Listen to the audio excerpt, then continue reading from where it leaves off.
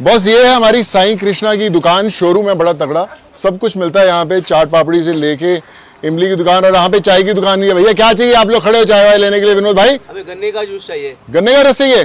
सबको गन्ने का रस चाहिए? अभी चाय की दुकान पे गन्ने का रस चाहिए आप लोगों को? अरे लगाओ गन्ने का रस का दुकान भैया शुरू करो इसको फटाफट। विनोद भाई ने बोला तो गन्ने का रस भी आएगा। चलो आ जाओ इधर। ये देखिए आगे। विनोद भाई के लिए गन्ने का रस भी आ रहा है। जब शिरडी आते हैं तो विनोद भाई, आरिफ भाई, डॉक्टर साहब, सब लोग बड़ी सेवा करते हैं हम लोगों की। आज गन्ने का रस पीते हैं भाई के यहाँ।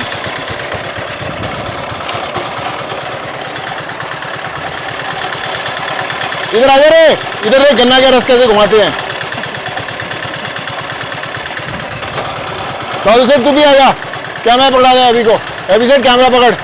साधु सेठ तू भी आ जा।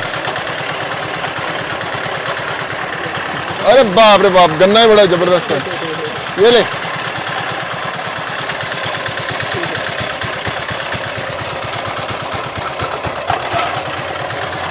और इसका रस निकालने के लिए इसको घुमाना भी पड़ता है ऐसे। तो रस निकलता है इसका।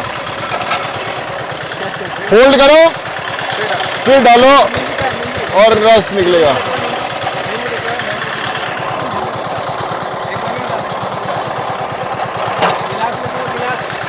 नींबू आ रे चलो ठीक है, बस, बहुत अब आगे वाकिफ रस पीते हैं, उसके बाद करते हैं।